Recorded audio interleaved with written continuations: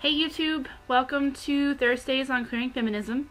Sorry my video is running a little bit late. Um, I wanted to give the other videos a chance to stay up a little bit longer because they posted a little bit later.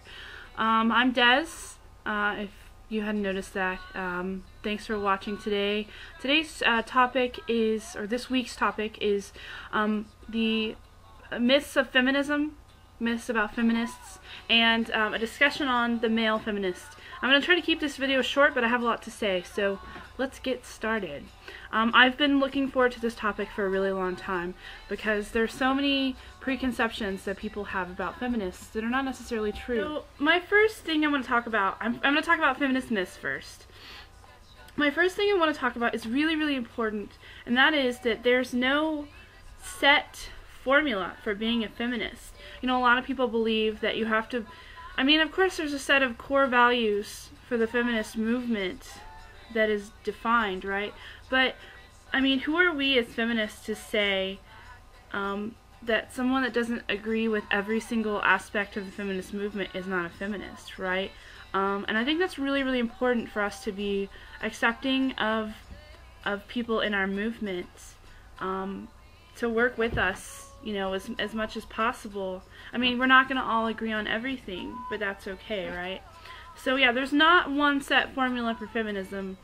I mean, you could, you know, and, and if you believe you're a feminist, chances are you are. I mean, unless you hate women and you think that women should not have any rights. And then I probably don't think you should call yourself a feminist. Yeah. Um, so I think that's a really, really important thing to remember. Um, the next thing I want to talk about is the term feminazi. Um, I have a little bit of a different perspective on this one because I'm actually um, I'm actually researching women in the Nazi era. So I wanted to bring a different perspective to this one. Um, the term femina feminazi is really funny because it basically puts a feminist and a Nazi together. Um, because, you know, they're feminists are supposedly hardcore and like crazy and vicious, right? Okay, so there's no such thing as a feminazi. I don't believe there is. Um, there's such thing as a feminine Nazi. Well, there was. There were women that participated in the Nazi movement who had nothing to do with feminism. They believed that women didn't deserve to right, the, the right to vote. They, you know, they were all for supporting a very misogynist Nazi party. Um, supporting, you know, so I think that term is kind of ironic. Um, because it's like you're comparing a feminist to a feminine Nazi, essentially, which is not at all any, it, it just doesn't work. So, yeah, I, I don't know if that's interesting to you, but I think it's a different, you know, it's an interesting, different perspective. Um, another thing I want to say is, um, not all feminists hate housewives. um, I, I, was thinking about this the other day, and I kind of am a housewife myself, per se. I mean, like, making a, a home for my family is really important to me. And that's not to say that I'm not going to go out and be successful and have a career. Um, but if I chose to stay home and my partner wanted to support me, that would be okay. Um, and I think it's really important for the feminist movement to to the, the participants in the feminist movement to understand is that there are so many different aspects of our movement and so many different people that have so many different um, needs and views. And if a, if, if a woman or a man is all for female empowerment and equality between the sexes but they choose to stay home um, and raise their children um, and make a home for their family, what's wrong with that? That doesn't mean that they're not feminists just because they're not out there conquering, you know, big business and stuff like that. So, yeah. Um, another one I want to talk about is the feminists are angry. Alright. Some feminists are angry, and I think that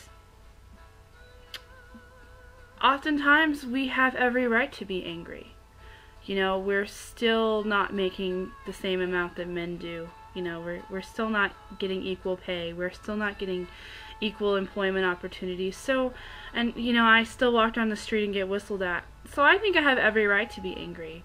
I'm not angry all the time, but I think that there's a, a certain amount of anger required in any movement for it to go anywhere. Um, just like with the GLBT movement, I mean, if there's not any anger at the fact that we are not equal citizens, um, then why would we be fighting? I mean, there's so there is a certain amount of anger that is necessary for a movement to work. But that doesn't mean that we're all angry women. I'm not an angry woman. I'm a very happy person. So, yeah. Alright, um, so those are my, like, four things I wanted to talk about with, like, feminist myths. Um, now I want to talk about men in the feminist movement. This is my perspective. I don't hate men. I love men, and I think they are vital, absolutely vital to our movement. The fact of the matter is, is that men make up like what 50% of the population of the world. So why would we want to fight against 50% of the population of the world? I think that would be completely counterproductive. And if we have people that are supporting us, then in, in our in our movement, in our in our fight for equality, then why wouldn't we accept them, right? Um, there are some amazing, amazing men men that call themselves feminists. You know, Kevin.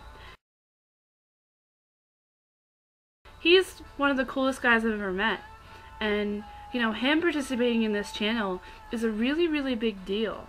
You know, him wearing that "This is what a feminist looks like" T-shirt, that's a big deal, especially in Lubbock where we're at.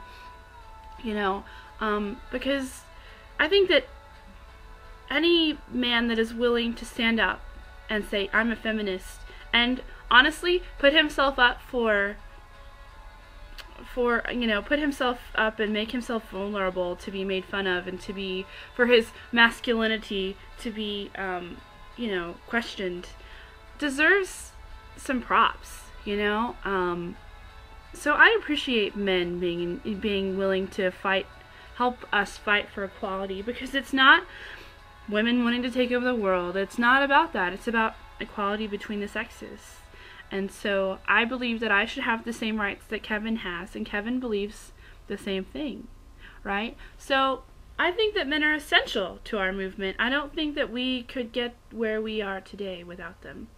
Um, so yeah, I mean, I mean, I, I know that there are some feminists that hate men and that do not think that they should be participating in the movement, and but I think they're crazy.